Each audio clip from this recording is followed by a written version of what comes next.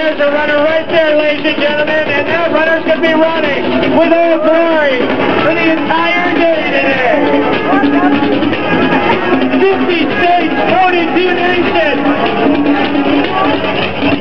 16,000 trucks. in marking on the oldest Olympic event.